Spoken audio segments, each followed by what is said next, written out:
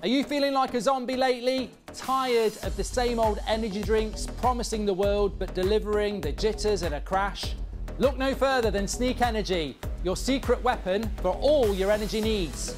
With all natural ingredients, Sneak will give you all the energy you need to boost through your day without feeling like a lab rat on caffeine. Don't believe us? Try it yourself and see what a difference it can make to your routine.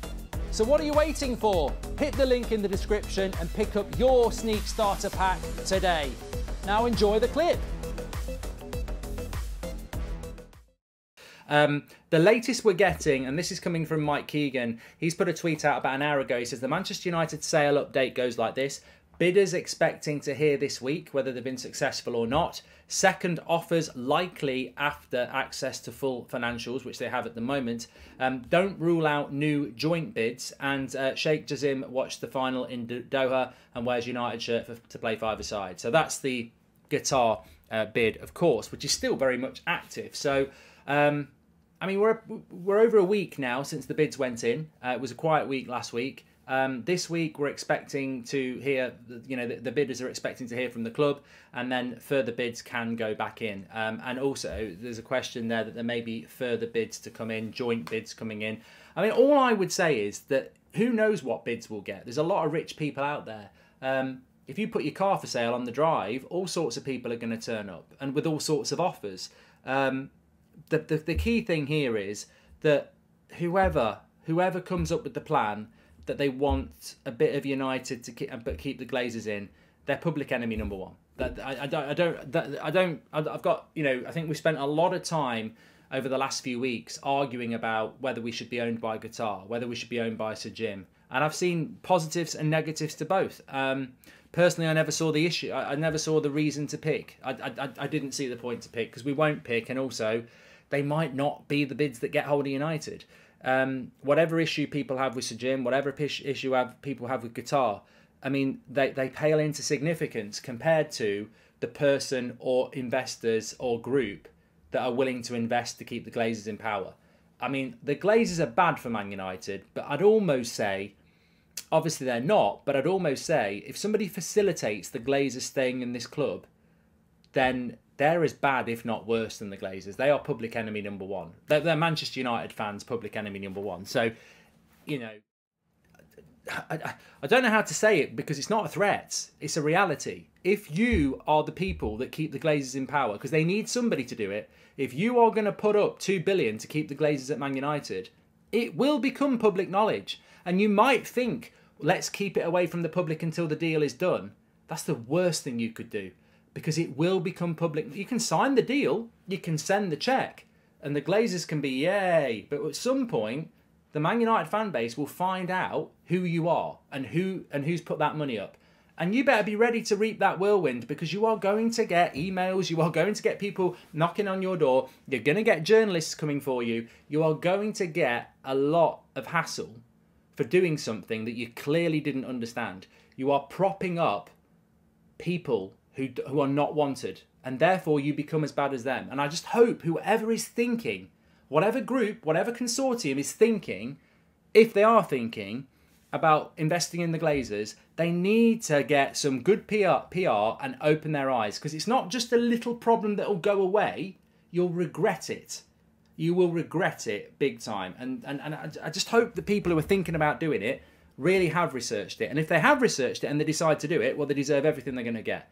But for me, I, just you know, if you're thinking of investing in United, find somebody else to invest in. Don't bloody invest in keeping the Glazers in place. Uh, hi Mark, should we have lost the final? Maybe this whole Mark, should we have lost the final? Maybe this whole Glazers staying thing could have ha- could have happened. Don't want the Carabao Cup to, to the trophy that keeps them, says Love. Nah, I mean, I mean, look, in a footballing sense, you should be able to park each side. I, I want Man United to win games because I think the players deserve it, we deserve it, and Ten Hag deserves it. And uh, but the, but but look. I, I'll pose this question. You know what I think. I'll pose this question, and I'll do a poll on it. Actually, um, can can Ten Hag win? Can Ten Hag win um, titles under Glazers? Yes or no? And it's an interesting question. And, and when I say I say titles as plural, I'm not saying one title because we could do a Leicester City this year. We could we could fall into our lap. We could win it, but can we consistently win titles with the Glazers under Ten Hag? And, and, and I honestly think no. I think Ten Hag's capable of winning one. I think he could win one. I think he could, you know, it could fall into our lap. We could win one. But can you consistently fight Man City or Chelsea or, or Liverpool or whoever week in, year in, year out under the Glazers? No, because I know what's going to happen. I saw it with Arsenal. Arsenal had to build a stadium and Wenger had to rely on just getting fourth every year because they didn't have the money.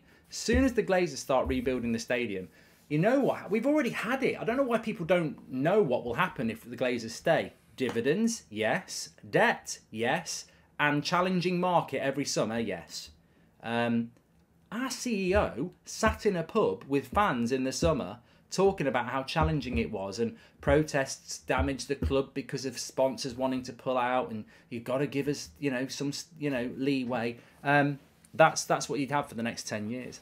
Uh, Glenny Boy says, if the Glazers are gone by the summer, I hope the Glazers will enjoy all the protests on their doorstep during the summer tour, says Glenny. And uh, Garnacho and Pellistri must start against West Ham, says Jude. Let's just have a quick look here at uh, what people are saying. So um, 38% think Ten Hag could win titles consistently under the Glazers.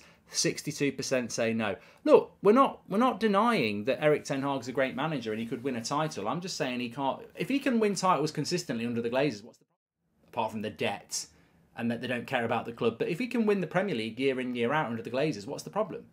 Um, I don't think Sir Alex could win titles anymore under the Glazers. I think football's moved on. Um, I think the power of Man City and New Man City was just starting when when Sir Alex came to, to an end.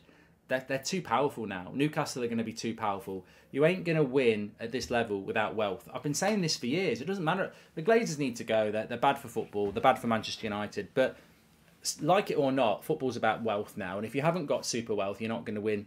Simple as that. Because if you've got super wealth and you've got a decent manager, you're going to beat a decent manager who hasn't got super wealth because it's this basically what's happened to Klopp. I think Klopp's a better manager than Pep. I do. I think with an open checkbook, Klopp would have won more titles. But that's